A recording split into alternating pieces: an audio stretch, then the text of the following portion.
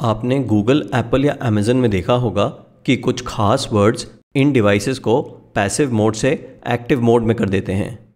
जैसे एप्पल में हे सीरी कहकर एप्पल फ़ोन को या एलेक्सा कहकर अमेज़न एको को आप रेडी कर देते हैं।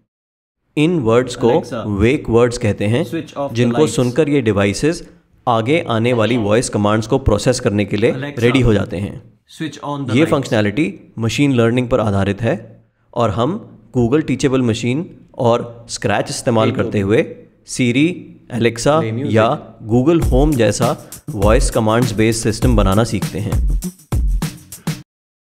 Lights on off voice command से न केवल हम स्प्राइट्स को कंट्रोल करेंगे स्क्रैच को माइक्रोबिट से कनेक्ट करके हम माइक्रोबिट को भी वॉइस कमांड से ऑपरेट करेंगे। लाइट्स ऑन ऑफ़ ये प्रोजेक्ट बनाने के लिए सबसे पहले हमारे को टीचेबल मशीन में एक मशीन लर्निंग का मॉडल बनाना होगा। जो मॉडल हम बना रहे हैं वो साउंड बेस्ड मॉडल है। टीचेबल मशीन में मशीन लर्निंग मॉडल्स कैसे बनाते हैं, ये मैं अपने एक और वीडियो में समझा चुका हूँ, जहाँ हमने एक आर्टिफिशियली इंटेलिजेंट कार बनाई थी। इस प्रोजेक्ट के लिए मैंने टीचेबल मशीन में जो मॉडल बनाया है, उसमें मैंने मॉडल को बैकग्राउंड नॉइस और फिर कुछ क्लासिफिकेशंस या लेबल्स पर ट्रेन किया है, जैसे hey Toby lights on play music thanks Toby और ऑफ़ ये सारे कीवर्ड्स रिकॉर्ड करने के बाद हमने मॉडल को ट्रेन किया और फिर हमने मॉडल को एक्सपोर्ट किया। और फिर हम स्क्रैच के एक स्पेसिफिक वर्जन जो कि इस यूआरएल पे अवेलेबल है stretch three dot GitHub dot I O यहाँ पर हम अपने टीचेबल मशीन मॉडल को कॉल करेंगे। हम स्क्रैच का ये वर्जन इसलिए यूज़ कर रहे हैं क्योंकि यहाँ पर हमारे को वो एक्सटेंशन मिल जाते हैं जो हमें चाहिए। एक है ये टीचेबल मशीन का एक्सटेंशन और एक है ये माइक्रोबिट मोर का एक्सटेंशन स्क्रैच में बाय डिफ़ॉल्ट एक और माइक्रोबिट का एक्सटेंशन है। पर ये जो डिफ़ॉल्ट एक्सटेंशन है, इसमें बहुत लिमिटेड कमांड्स हैं। माइक्रोबिट मोर एक्सटेंशन में हमारे को माइक्रोबिट कंट्रोल करने की बहुत सारी कमांड्स मिलती हैं और ये भी मैंने अपने आर्टिफिशियल इंटेलिजेंट कार वाले वीडियो में समझाया है। तो यहाँ पर मैं पहले ये टीचेबल मशीन का एक्सटेंशन ऐड कर रहा हूँ। तो हमारे को ये सारे प्रोग्रामिंग ब्लॉक्स मिल जाते हैं और अभी हम यहाँ पर image based machine learning model नहीं sound based machine learning model use कर रहे हैं।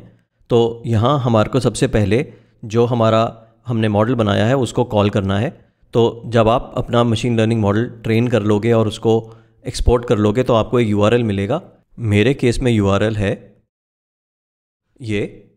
और इसके बाद अगर मैं यहाँ पर कह रहा हूँ कि when green flag is clicked call this model और अभी जब साउंड लेबल पे मैं ये ड्रॉप डाउन दबा रहा हूँ तो यहाँ पे हमारे को कोई भी लेबल नहीं मिल रहा है। पर जब मैं एक बार इस मॉडल को कॉल कर लेता हूँ, यानी कि ये मॉडल चल जाता है, तब हमारे को यहाँ पर जो हमने टीचेबल मशीन में लेबल्स को ट्रेन किया था hey Toby lights on play music ये सारे लेबल्स हमारे को अब यहाँ मिल रहे हैं।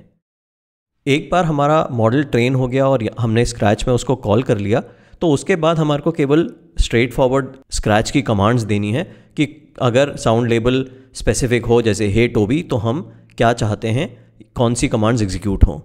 तो ये एग्जीक्यूट करने के लिए एक्चुअली मैं ये स्क्रैच ये स्प्राइट नहीं यूज़ करना चाहता हूँ। मैंने आ, कुछ और यहाँ पर स्प्राइट्स तैयार करी हैं। बेसिकली आइडिया था कि आ, हमारे पास एक ओबीडियंट डॉग है कॉल टोबी जिसको जब हम कमांड्स देते हैं तो वो हमारी कमांड्स मान मान लेता है। तो मैं ये वाली कमांड्स यहाँ टोबी की स्प्राइट पे कॉपी कर रहा हूँ और फिर मैं इसको डिलीट कर रहा हूँ और यहाँ पर हम साइज़ 50 परसेंट कर रहे हैं और उसके बाद मैं कॉस्ट्यूम्स में जाके यहाँ डॉग के अलावा फिर एक डॉग टू जो ओबीडियंट हमारा डॉग है, उसकी स्प्राइट भी ऐड कर रहा हूँ। तो हम बेसिकली क्या चाहेंगे कि जब हमारा सिस्टम वॉइस कमांड सुनने, सुन रहा है, तब ये वाली स्प्राइट होगी और जब एग्जीक्यूट करेगा तो ओबीडियंटली ये वाली स्प्राइट हमारे को विजिबल हो जाएगी। तो इसके बाद हम फिर यहाँ पर कोड लिख रहे हैं कि when sound label hey Toby is receive तो हम क्या चाहते हैं? तो हम चाहते हैं कि अगर पहले जो कॉस्ट्यूम थी, जब प्रोग्राम शुरू हो रहा है तो कॉस्ट्यूम है डॉग वन और जब हमारे को ये साउंड लेबल हे टोबी मिलेगा तो हमारी जो कॉस्ट्यूम है, वो बदल जाएगी तो वो हो जाएगी डॉग टू मैं इसको टेस्ट करता हूँ। हे टोबी हम फिर ये कर सकते हैं कि कंट्रोल में एक सेकेंड वो इस पॉस्चर में रहे और उसके बाद वापस जो डॉग वन कॉस्ट्यूम है, वो वापस आ जाए। तो अगर हम दोबारा ट्राई कर रहे हैं हे टोबी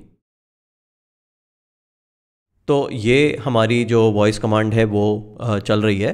अब इसी तरीके से मान लिया जाए कि मैं इसको डुप्लीकेट कर रहा हूँ और अब हम नेक्स्ट यहाँ लगा रहे हैं लेट्स से प्ले म्यूज़िक तो हम चाहते हैं कि जब प्ले म्यूज़िक कमांड हो तो आ, कुछ चीज़ एग्जीक्यूट हो जाए। तो फॉर एग्ज़ाम्पल हम कोई म्यूज़िक बजाना चाहते हैं तो मैं साउंड्स में जाके यहाँ साउंड ऐड कर रहा हूँ। लूप्स में हिप हॉप तो मैं यहाँ पर कोड लिख रहा हूँ कि when sound label this is received तो let's say again costume obedient वाली आ जाए और उसके बाद जो हमारी हिप हॉप साउंड है that gets played until done हम इसको टेस्ट करके देख सकते हैं। प्ले म्यूज़िक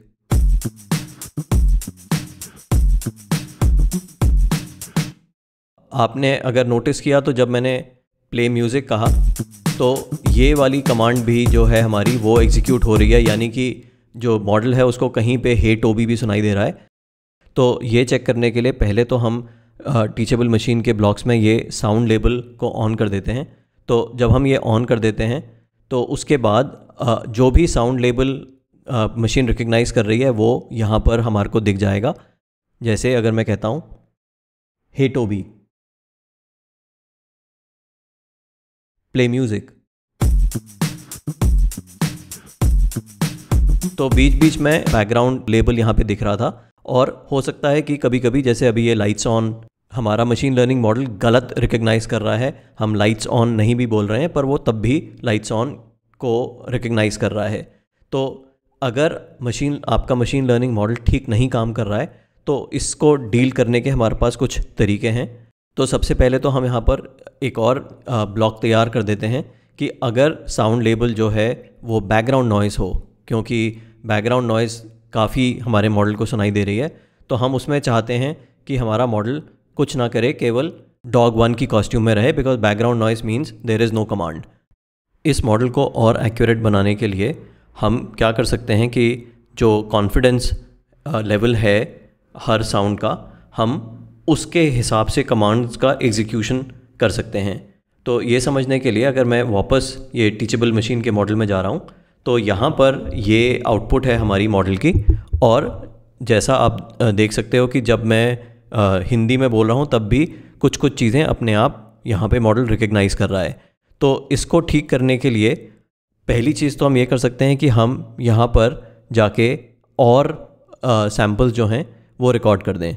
और और हर कैटेगरी के लिए और सैम्पल्स रिकॉर्ड करने के बाद हम मॉडल को दोबारा ट्रेन कर दें। और एंड इवन जब हम मॉडल ट्रेन कर रहे हों तो हम यहाँ पे जो ईपॉक्स हैं, मैंने हंड्रेड ईपॉक्स के लिए इसको ट्रेन किया था तो आप इन ईपॉक्स को भी बढ़ा सकते हो। आप जितना ईपॉक्स बढ़ाओगे, उतना ज़्यादा टाइम लगेगा इस मॉडल को ट्रेन होने में। पर हम अभी क्या कर सकते हैं कि जब हम इसको टेस्ट कर रहे हैं तो फॉर एग्ज़ाम्पल अगर मैं कहता हूँ hey Toby lights on play music तो हमारे को यहाँ पे ये कॉन्फिडेंस स्कोर मिल रहा है। और हमारा मॉडल ऑल काफ़ी चीज़ें गलत रिकग्नाइज कर रहा है पर जब मैं वो स्पेसिफिक कीवर्ड्स बोल रहा हूँ जैसे प्ले म्यूज़िक तो वो ऑलमोस्ट 95 परसेंट एक्यूरेसी के साथ उसको आ, समझ रहा है कि वो प्ले म्यूज़िक है। तो हम इस कॉन्फिडेंस थ्रेशोल्ड को हम इस कॉन्फिडेंस लेवल को अपने प्रोग्राम में ऐड कर सकते हैं उसको ज़्यादा एक्यूरेट बनाने के लिए। तो ये जो कॉन्फिडेंस ऑफ़ साउंड ये वाली आ, हमारी कमांड है हम इसको अपनी सारी कमांड्स में ऐड कर सकते हैं।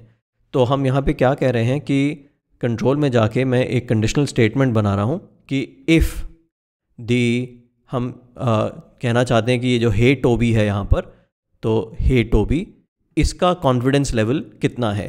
तो अगर मैं अभी यहाँ क्लिक कर रहा हूँ तो ये कॉन्फिडेंस लेवल केवल एटीन परसेंट है पॉइंट वन एट और अगर मैं बोलता हूँ हे टोबी हे टोबी तो ये जैसे 67 परसेंट एक्यूरेसी के साथ उसने रिकग्नाइज़ किया कि कमांड थी हे टोबी तो हम इस कॉन्फिडेंस स्कोर को यूज़ कर सकते हैं।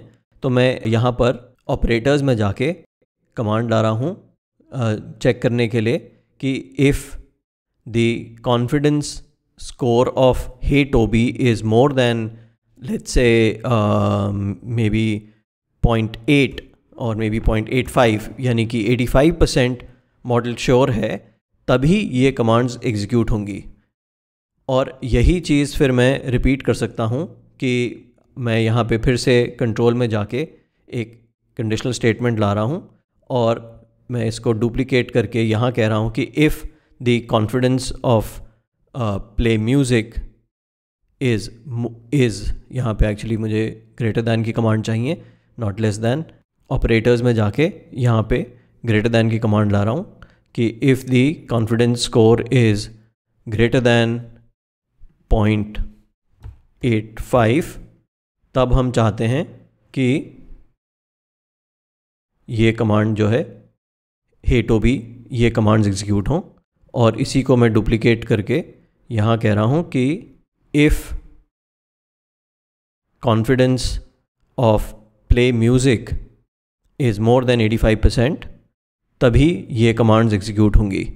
मैं ये जो बैकग्राउंड नॉइज़ है इसमें नहीं डाल रहा हूँ क्योंकि बाय डिफ़ॉल्ट सभी कुछ बैकग्राउंड नॉइज़ है।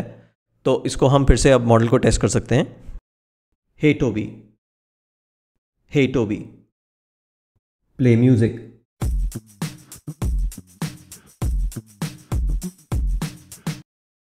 तो अब जो हमारे बाकी के जो साउंड लेबल्स हैं यहाँ पर lights on play music etcetera ये सब हम अकॉर्डिंगली यहाँ पर स्प्राइट्स बना के उनको उनको हम सिमिलर वे में एग्जीक्यूट कर सकते हैं। तो राधा दैन कि मैं वो बनाऊँ, मैं आपको नेक्स्ट समझाता हूँ कि अगर हमारे को इससे माइक्रोबिट को कनेक्ट करना है तो वो हम कैसे करेंगे? तो माइक्रोबिट कनेक्ट करने के लिए मैं यहाँ वापस एक्सटेंशन पे जाके यहाँ माइक्रोबिट मोर का एक्सटेंशन ला रहा हूँ। माइक्रोबिट को हम पेयर कैसे करते हैं, ये मैं एक और वीडियो में समझा चुका हूँ।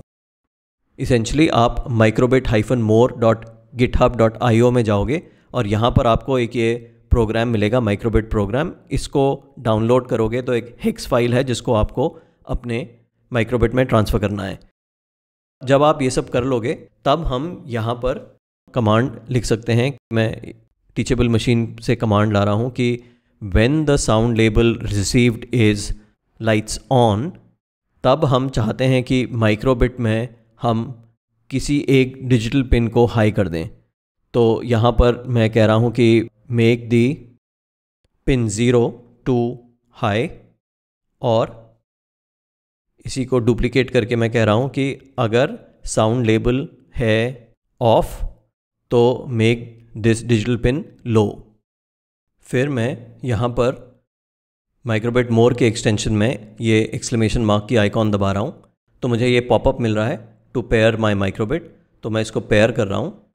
और जब ये पेयर हो गया है सक्सेसफुली तो अब हम देख सकते हैं कि अगर मैं यहाँ पर कमांड दूँगा light on off light on off तो आप देख सकते हो कि जो हमारा माइक्रोबिट है हम उसको भी वॉइस ऑपरेटेड कमांड्स से ऑपरेट कर पा रहे हैं बाय यूजिंग मशीन लर्निंग ये हमारा कंप्लीट कोड है। यहाँ पर मैंने जो सारे हमारे लेबल्स थे, उनको एक फॉर लूप में डाल दिया है और मैं अलग अलग कंडीशनल स्टेटमेंट्स यूज़ करके सेम चीज़ चेक कर रहा हूँ कि अगर बैकग्राउंड नॉइस है तो क्या करना है।